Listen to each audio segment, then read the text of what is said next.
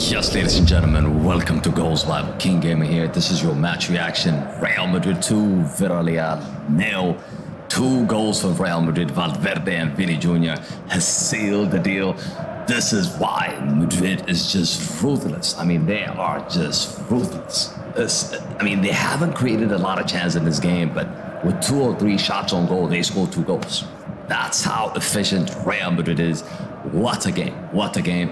But look, Vini Jr. is your man of the match. Make sure you smash a like because I thought he was outstanding today. He was outstanding. And that second goal from Vini Jr.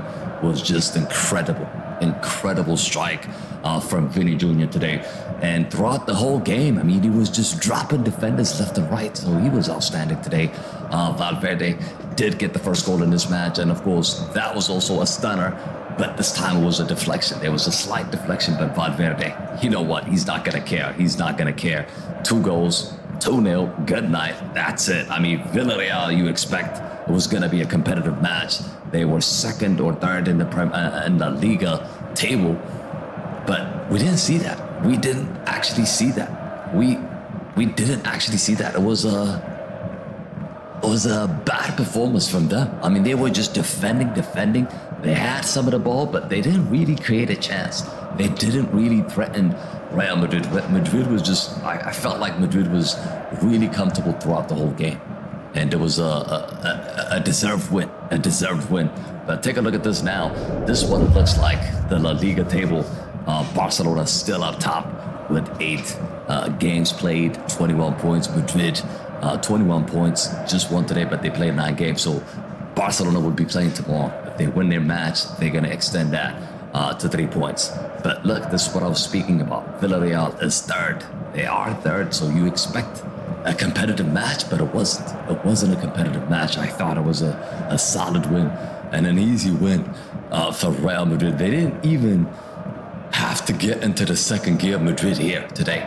They just, they were, I would say like six or seven out of 10 performance from Real Madrid has gotten the job done today. That's how easy it was. That's how easy it was.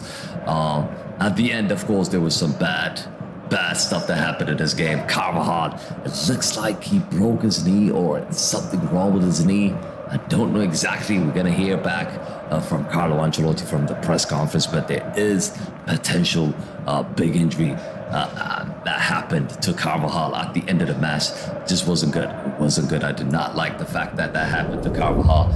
But look, at the end of the day, I think all in all, I feel I feel happy. There's three points in the back. Three points in the back. Uh, next game now for Real Madrid is going to be against Celta Vigo. We have the international break coming up, and after that, uh, uh, of course, they're going to be playing Celta Vigo away from home.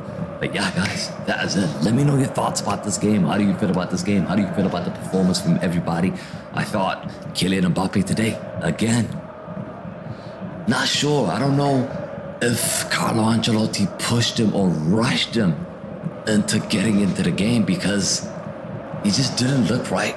He did not look right. There were a lot of complaints about Kylian Mbappe not pressing, not working hard for the team, especially when he loses possession. He doesn't track back. He's one of the lowest uh, pressers, uh, uh, uh the lowest striker that, that actually does press in La Liga.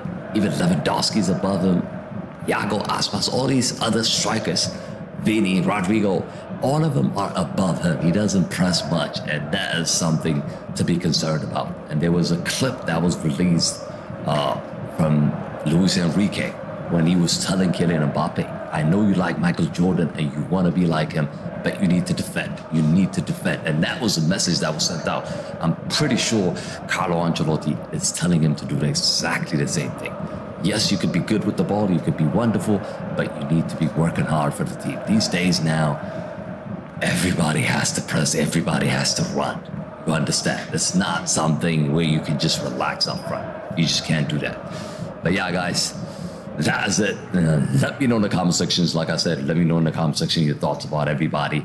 Uh, one thing I didn't mention is Bellingham again. Another average performance from Bellingham today. I didn't think he was outstanding. I didn't think he was creating loads of chance. Defensively, he was okay, but offensively, he didn't do anything. He didn't make things happen. I mean, you, you are wearing number five. You're wearing Zinedine Zidane's shirt. You should be creating chances for the forwards, and he wasn't doing that. It's not just today. Consistently, that's what he's he has been. Like since Christmas, I think he's been really bad. He's been really, really bad.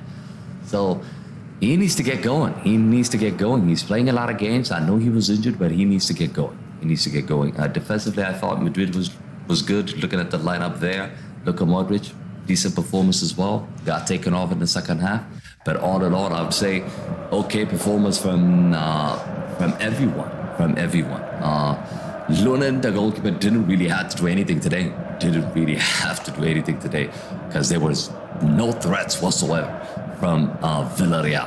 But yeah, guys, let me ask you the question and we're going to wrap up the video. Okay, so on the SofaScore app, okay, whoever gets this is going to get the points. That's why we've been doing it all along. So on the SofaScore app, who is the highest rated player for Real Madrid?